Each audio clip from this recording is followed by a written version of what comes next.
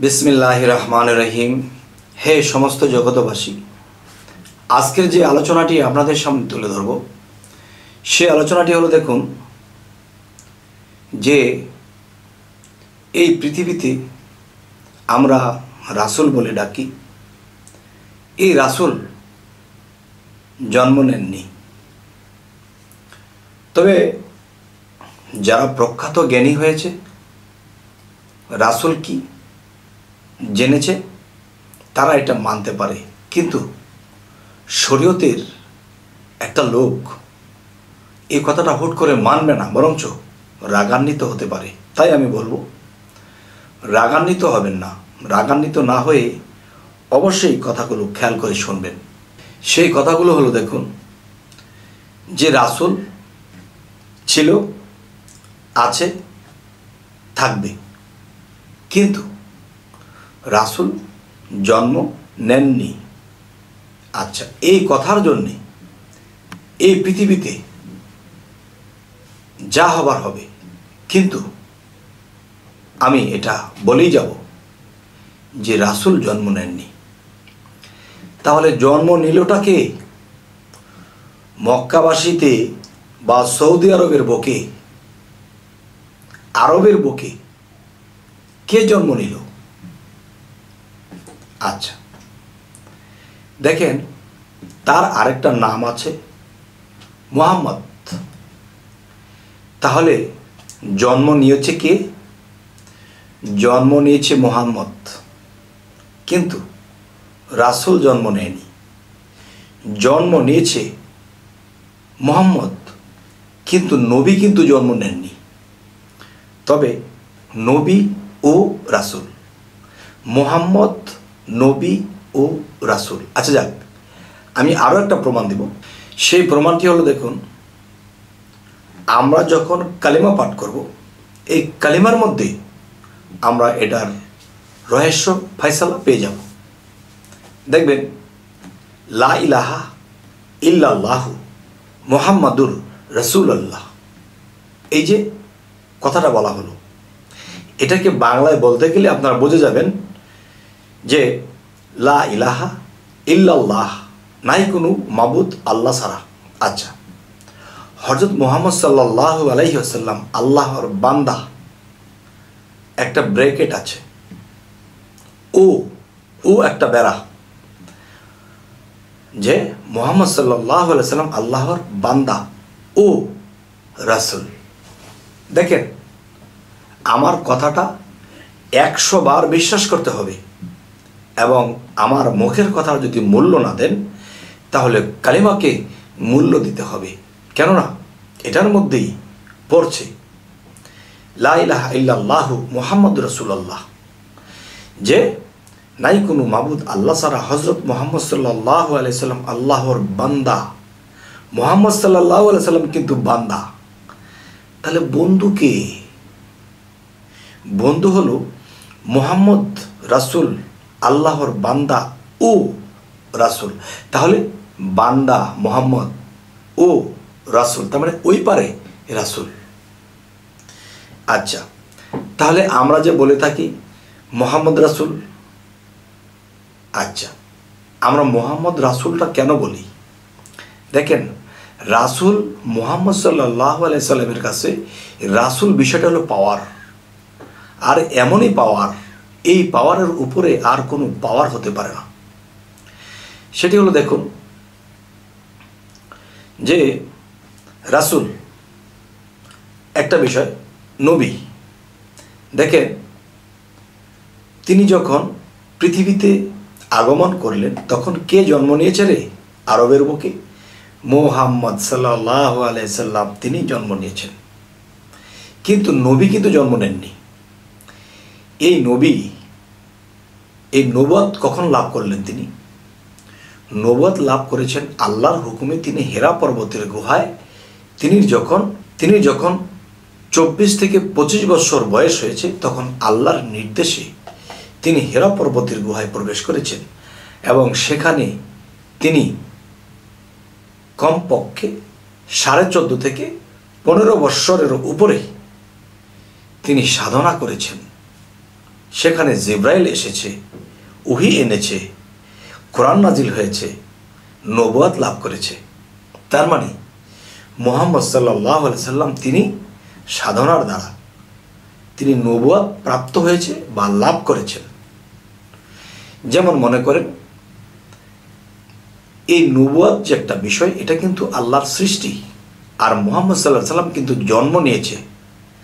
জন্ম এবং সৃষ্টির মাধ্যমেই এসেছে, কিন্তু নবুয়াত যে বিষয়টা, এটা সৃষ্টি আর এটা তিনি লাভ করেছেন অনেক সাধনার পরে। পনেরো বৎসরের উপরে তিনি সাধনা করেছিলেন। সেই সাধনার বিনিময়ে আল্লাহ তাকে নবুয়াত দান করলেন। তখন মোহাম্মদ সাল্লাহ সাল্লাম নবী হইলেন। নবী কিন্তু জন্ম নেননি। আচ্ছা এবার আসি। রাসুল, তখনও কিন্তু তিনি রাসুল নয়। তিনি মোহাম্মদ নবী। তিনি রাসুল হইলেন কবে? দেখেন, তিনি চব্বিশ থেকে পঁচিশ বছর বয়সে যখন হেরা পর্বতের গুহায় ঢুকলো, তিনি পনেরো বৎসরের উপরে সাধনা করার পরে যখন তার উপরে কোরআন নাজিল হলো, ওহি নাজিল হলো, তার উপর নবাদ নাজিল হলো, তখন সেখান থেকে যখন বের হয়েছে, তখন তার বয়স চলে কত? এদিকে পঁচিশ আর ওদিকে পনেরো। তাহলে চল্লিশ, তাহলে চল্লিশের মধ্যে তিনি নবদ লাভ করে এসেছেন। তারপরে আল্লাহ কি করলেন? যে হজরত মোহাম্মদ সাল্লাহ সাল্লামকে দাওয়াত করলেন যে, হে দোস্ত, আপনি আসেন, আপনার সাথে আমি মেরাজ করব। আপনি আরও সে আসবেন। তখন নবীজির বয়স বা হজরত মোহাম্মদ সাল্লাহ সাল্লামের বয়স কত হয়েছিল? বাউন্ন বছর, পঞ্চাশ থেকে বাউন্ন বছর। তখন সে বাউন্ন বছরে আল্লাহর কাছে গেলেন। আল্লাহ রব রবের মাধ্যমে, বোরাকের মাধ্যমে, রব রবের মাধ্যমে আল্লাহ যেভাবে হোক হজরত মোহাম্মদ সাল্লাহ সাল্লামকে সেই আরও সে নিলেন। আল্লাহর সাথে সাক্ষাৎ করলেন। সাতাশ বৎসর কেটে গেল।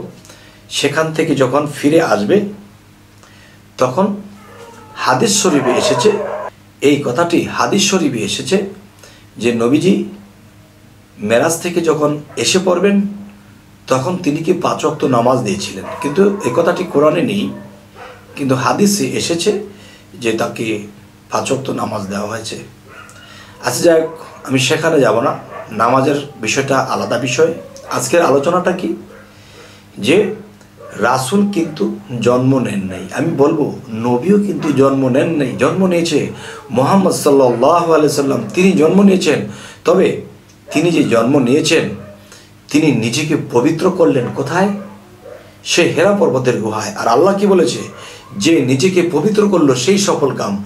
আর সেই পবিত্র কি? পানি দিয়ে হাত ধুইলে, মুখ ধুইলে হবে? হবে না। যদি ভিতরের পরিষ্কার না হয় ততক্ষণ পর্যন্ত সে আল্লাহর দর্শন লাভ করতে পারবে না। ততক্ষণ পর্যন্ত সে ধ্যানে হোক, নামাজে হোক, সে ডুবতে পারবে না। তার মন বিভিন্ন জায়গায় চলে যাবে, কিন্তু নামাজের স্থানে তার দেহটাই পড়ে থাকবে। আর এই নামাজে আমাদের প্রতি আল্লাহ অসন্তুষ্ট থাকে। যাই হোক, আজকের যে আলোচনাটি বোঝাতে চাইছি সেটি কি? যে রাসুল জন্ম নেয়নি। আজকের এই আলোচনায় কি আপনারা আমার কথা কি বুঝতে পারলেন? বুঝেছেন কি আপনারা আমার কথাটি? যে রাসুল যে জন্ম নেননি? তবে আরও একটি কথা বলতে পারি, সে কথাটি হলো কি? যে এই কথাটি হয়তো কেউ চিন্তাযুক্ত হবেন, আর না হয়তো আমাকে বকে দিবেন, আর না হয়তো ভিডিওটা রেখে দেবেন। আচ্ছা তিনটার একটা হবে। যে হজরত মোহাম্মদ সাল্লাহ সাল্লাম যখন মেয়াজে গেলেন, আর এখনকার যে কথাটি বলছি, এই কথাটি কোথায় লেখা হয়েছে? যে আশরাফ আলী থানবী আশরাফ আলী থানবী যে একটি নবীজির মেরাজ তত্ত্ব যে লিখেছেন, এর মধ্যে পাওয়া গেল, নবীজি যখন আল্লাহর সাথে সাক্ষাৎ করার জন্য আরশাজিমে চলে গেলেন, তখন দেখে আল্লাহ অন্যদিকে মুখ করে বসে আছে। তখন নবীজি বলতে লাগলেন, হে আল্লাহ, আপনি আমাকে দাওয়াত করেছেন। কিন্তু আমাকে দেখে আপনি মুখটা অন্যদিকে ফিরে আছেন?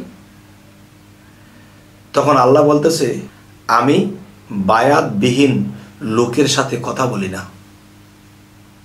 তখন নবীজি বলছে, হে আল্লাহ, যদি আমার ওপরে আপনি কাউকে রেখে থাকেন, তাহলে বলুন, আমি তার কাছে বায়াত গ্রহণ করব। তখন আল্লাহ স্বয়ং আল্লাহর হাতটা বাড়িয়ে দিয়েছিলেন। হে দোস্ত, আপনার ওপরে অন্য আর কাউকে রাখিনি। তখন আল্লাহর হাতে হাত দিয়ে হজরত মোহাম্মদ সাল্লাহ সাল্লাম বায়াত গ্রহণ করলেন। তাহলে বায়াত হতে হবে, মুর্শিদ ধরতে হবে, এই কথাটি কোত্থেকে এসেছে? যিনি আল্লাহর হাতে হাত দিয়ে বায়াত গ্রহণ করেছেন। আচ্ছা এবার আসি। এই কথাটি সকল স্তরের লোকদের জন্য। যেমন বলা হয়েছে, সাতাশ বৎসর যখন শেষ হয়ে গেল রুহানিভাবে নবী চলে আসবে দুনিয়াতে। তখন আল্লাহ যখন তাকে বিদায় দিচ্ছে, তখন মোহাম্মদ সাল্লাহ আলি সাল্লামের চোখ দিয়ে পানি জর্জর করে পড়তেছে। তখন আল্লাহ জিজ্ঞাসা করলেন, হে দোস্ত, আমার সাথে আপনি মোলাকাত করেছেন, সাক্ষাৎ করেছেন? এরপরেও আপনার কি দুঃখ যে আপনি চোখে পানি ঝরাচ্ছেন, কাঁদতেছেন? নবীজি বললেন, হে আল্লাহ, আমি আপনাকে দেখেছি, আপনাকে দেখার নসিব হয়েছে, মোলাকাত করেছি, মেরাজ করেছি, কিন্তু আমার উম্মত তো আপনাকে দেখবে না। এই দুঃখে আমি কান্দি। তখন আল্লাহ বলতেছে, হে দোস্ত, দেখেন এগুলো হাদিসের কথা আমি জানি না, আমি কোরআন থেকে পাইনি। তো এই কথাগুলো যদি বলতে যাই, কোনো মুন্সি মৌলবী তাদের গায়ে একটু লাগবে। আর লাগার দরকার, কারণ বুঝতে হবে। আচ্ছা। বলতেছে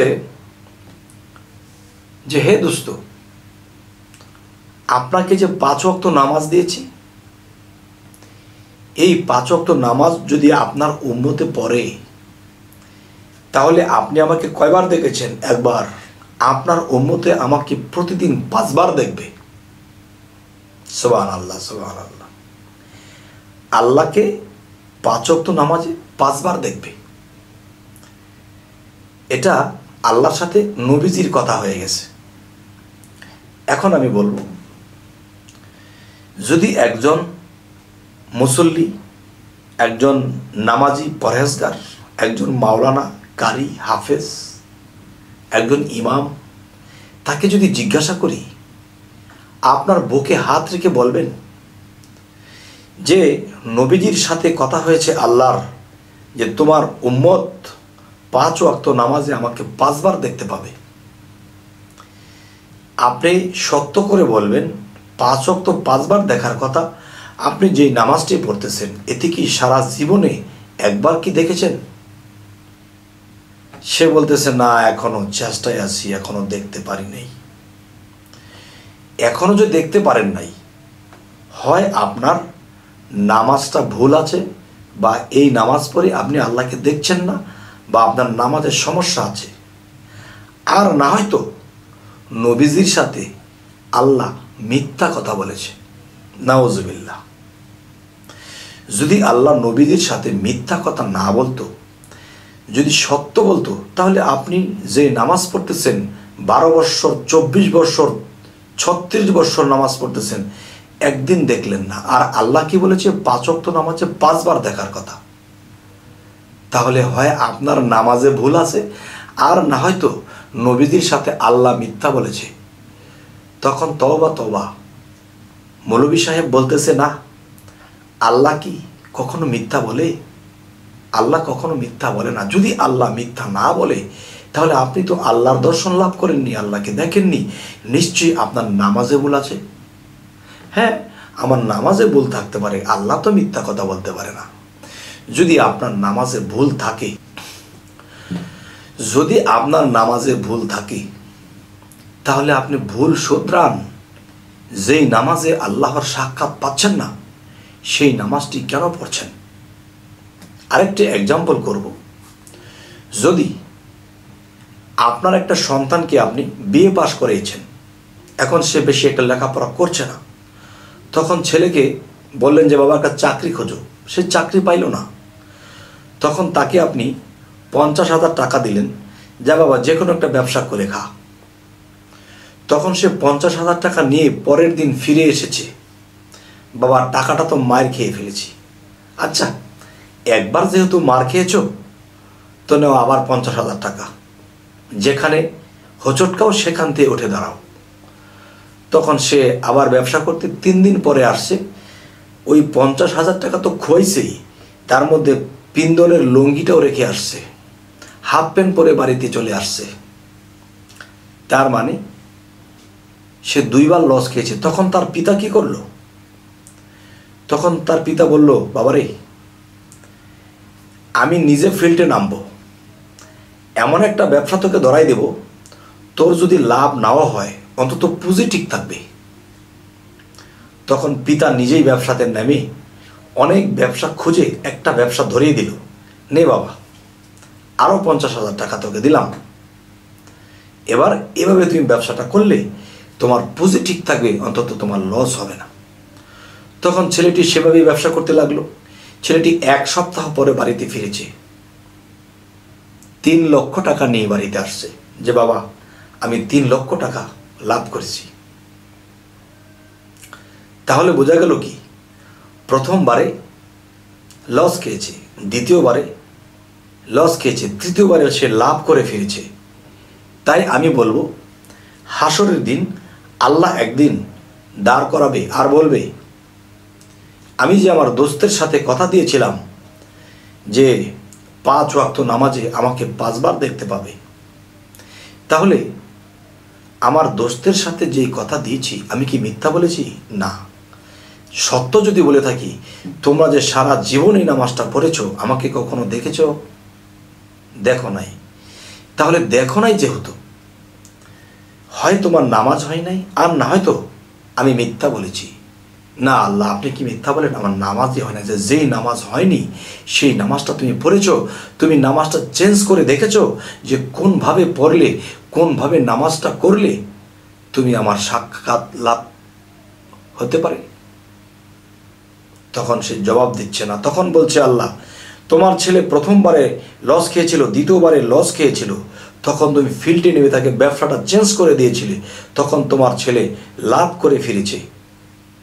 তখন সে ব্যবসার খাতিরটা, ব্যবসার বিষয়টা তো ভালোই বুঝেছ যে এটাতে হয় না সেটাতে, এটাতে হয় না সেটাতে হবে। তাহলে নামাজ, এটাতে তুমি সাক্ষাৎ পাচ্ছ না নামাজ চেঞ্জ করে দেখেছিলে? ওই নামাজে তুমি আমাকে সাক্ষাৎ পাওনি, তুমি কি নামাজ চেঞ্জ করে দেখেছিলে? কোন নামাজে আমাকে দেখা যায়, কোন নামাজে আমাকে পাওয়া যায়? দেখো নি, তাহলে এতদিন নামাজ পড়ার পরেও তোমরা দুজকের টিকিট নিয়ে চলে যাও। দুজকের ফেরেস্তারা অপেক্ষা করছে। কারণ তোমার ছেলের ব্যবসার বিষয়টা তুমি ভালো বুঝেছ, আর তুমি যে আমার সাক্ষাৎ পাওনি, এটা কি কিন্তু তুমি ভালো বুঝুনি? আর আমি সুরা মাওনে বলে দিয়েছিলাম, দুর্ভোগ সেই নামাজকারী যারা লোক দেখানো ইবাদত করে, দুর্ভোগ সেই ইবাদতকারী যারা এতিমের গলা ধাক্কা দিয়ে তাড়িয়ে দেয়। পিতৃহীনকে অন্ন বস্ত্র দানে উৎসাহ দেয় না? কেন? আমি কি কোরআন দেইনি? তখন কিন্তু বাবা আটকে পড়বেন। তবে যারা বারো বৎসর, ছত্রিশ বৎসর ধরে নামাজ পড়তেছেন এখনও আল্লাহর দর্শন লাভ করেননি। অবশ্যই নামাজটাকে চেঞ্জ করেন। আপনি কিন্তু নিজে নিজে চেঞ্জ করতে পারবেন না। একজন অলি আউলিয়া আল্লাহর সাথে কানেকশন আছে। আর সেই অলি আউলিয়ার কাছে যাইয়া সেই নামাজটা শিক্ষা নিয়ে নেন। কোনভাবে নামাজ ধরলে আপনি আল্লাহর দর্শন লাভ করবেন? তবে এই সমস্ত জগতবাসী আজকে একটু লম্বা করে আলাপ করে ফেললাম। তবে আমাদের আমাদের চ্যানেলটিকে অবশ্যই সাবস্ক্রাইব করে রাখবেন। পরবর্তীতে যেন আরও ভালো আলোচনা দিতে পারি। তো সকলেই ভালো থাকবেন। আল্লাহ হাফিজ।